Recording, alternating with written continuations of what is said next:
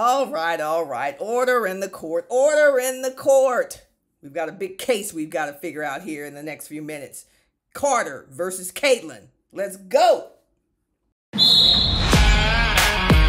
that volume up. You know you want it. It's time for Women's Basketball TV with former NCAA champion, WNBA champion, business mogul, and national TV personality, Fran Harris. A'ja Wilson is a generational talent. We have no one like her in the WNBA. Bringing you entertaining, on point analysis. Did LSU just win the national championship? Tea and inside scoop on the sport you love. NIL is going crazy. All I'm saying is if they're making $5 million as a student athlete, can't they pay for their own college? I mean, I'm just asking. It's just a question. Let's get it.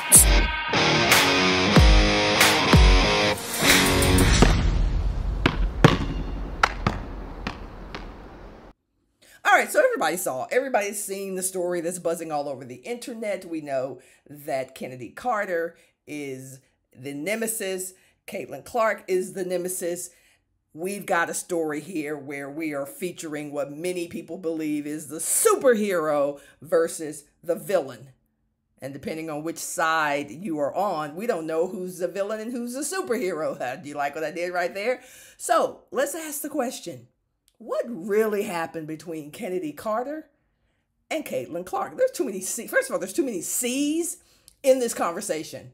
Chennedy Carter and Caitlin Clark. What really happened? So let me give you a little perspective.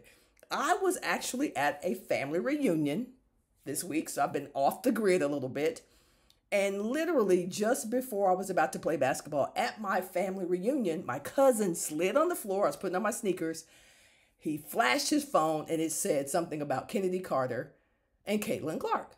And so I started to investigate in the few minutes that I had before I had to get on the court and beat my cousins. And I said, interesting. He says, What do you think? I said, I want to know what happened before Chennedy Carter did what she did. I said, I don't have an opinion because I don't have enough context. There's not enough context with that picture that you're showing me from social media for me to make a decision about how I feel and whether I want to take this case to sport court or not. Yeah, that's what I said. I said, that doesn't mean anything. Chennedy's, and I saw the video. I saw the picture and I said, that doesn't mean anything. Then I saw the video. I said, that still doesn't mean anything to me yet because I don't have the context for what happened. So the context is this what happened the play before? What happened the the the uh, three plays before. Did Caitlin do something that viewers didn't see because it wasn't so blatant as Chennedy Carter? Did Chennedy Carter has she been egging it on all game long and Caitlin had had enough and then Chennedy blew up and did what she did right in front of the ref and right in front of millions of viewers. What happened? The reality is, y'all, nobody knows except Caitlin Clark and Chennedy Carter. I know that's hard for some of y'all to believe, but nobody, not even all their teammates, know exactly what happened before the moment that was heard around the world. Before the foul that was heard around the world, nobody knows what happened. Y'all have heard me say this on this channel many times. There's so many games going on inside the game. You got people pulling short, you got people punching you in your head, you got people elbowing you. You got people pulling your hair. You got all this stuff happening that y'all don't see. You may catch some of it. You may you may see some of it, but it is impossible for you, the viewer, to see every single aspect of what's going on in the game inside the game. Okay? I was in college. Stuff was happening. In the pros, overseas, stuff is always happening that y'all don't see and you don't know. But then let's face it, there's a very good chance that Chennedy Carter also had had enough of whatever had been going on inside the game, the game inside the game. There's a chance that Chennedy Carter, as I said, and Caitlin Clark had been jawing and, and messing with each other all game long. There's a chance that none of that happened. There's a chance that Chennedy Carter was like, I'm tired of hearing about Caitlin Clark. There's a chance that Caitlin Clark said, you know what, you ain't shit. You ain't nothing. I don't give care. There's there's a chance for all that. But what's interesting is the take that the media is taking on it. It's your girl, Fran Harris, former WNBA champion with the Houston Comets. It is finally here. Yes, the first novel set in the world of the WNBA. And it's got all the good stuff. It's got love, romance, true crime, forgiveness, redemption, all the stuff you love to see in great novels. If you love Terry McMillan and Waiting to Exhale, if you love Eric Jerome Dickey and all his madness, then you will love Houston by Morning. It's a story of four characters a baller, an agent, a television personality, and a coach. And the way their lives collide into one another is a beautiful mess. Pick up a copy now on Amazon Kindle or at HoustonByMorning.com. Peace! That's what's really interesting. So now you want to paint one of them as the villain and one of them as the the superhero. It's a classic, it's a classic Marvel superhero movie. One person is the superhero, the other person's got to be the villain. When they both could be the superhero and they both could be the villain, depending on how you look at it. Some of y'all have taken the tack that Chennedy Carter, oh, she has to be the villain because look at her history. I call BS on that. I do. Again, I'm a context person. Give me the context for why this person did what they did. And then some of y'all have taken the tact of Caitlin Clark can do no wrong. Caitlin Clark is always on the up and up. Caitlin Clark is forever the example. I call BS on that. Now, y'all, some of y'all didn't watch Caitlin Clark play in, in college for the last two years. Y'all, when we put together, string together highlight or low light reel of Caitlin Clark's worst moments, y'all want to see that?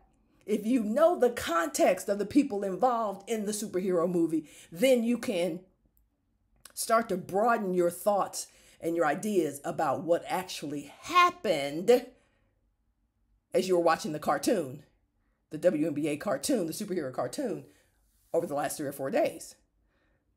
Most of y'all will not admit that you really don't know what happened. You may have seen the blow up you may have seen the glow up. You may have seen the get up. The get up from when Caitlin got pushed. You saw the blow up and then you saw the get up. Right? You think that's all that happened, y'all? You think that's all that happened? Of course not. And then some of y'all, well, now y'all gonna say, well, I noticed that Caitlin Clark's teammates did not pick her up on the floor. You think you know all that that entails. Some of you have decided that yeah, they're glad that Caitlin got knocked down. Some of you have decided that Caitlin deserved to be knocked down and not to have her teammates pick her up. Some of y'all have decided that. Some of y'all have decided that because Angel Reese was applauding on the on the bench, that now it's a plot, it's a conspiracy theory. Everybody's out to get Caitlin. Oh my God, save the world. Everybody's out to get Caitlin. Most of us have a different reality. And if you have played in this league, then you know it is extremely physical and it's only gotten more physical. Listen, I was there at the beginning, 1997. It was physical in 1997. It's only gotten more physical. And there was no Caitlin Clark or anyone like Caitlin Clark in the league 30 years ago. So don't tell me that this league is overly physical. It is the same league as it was in 1997 people get knocked on their ass. People have vendettas. It's the same thing. The style is the same. It is a physical league, it is a contact sport. And if you think that people are going to take it easy on someone because they signed a $28 million shoe deal, because they signed another $10 million Allstate, whatever it is, if you think people are going to take it easy because there is this sense that she has put the WNBA on the map, you are absolutely nuts. And by the same token, if you think said person is going to keep taking crap from people in the league whenever it shows up, you are also crazy. Y'all, here's the thing as I wrap this up in the next minute or two. This league needs rivalries.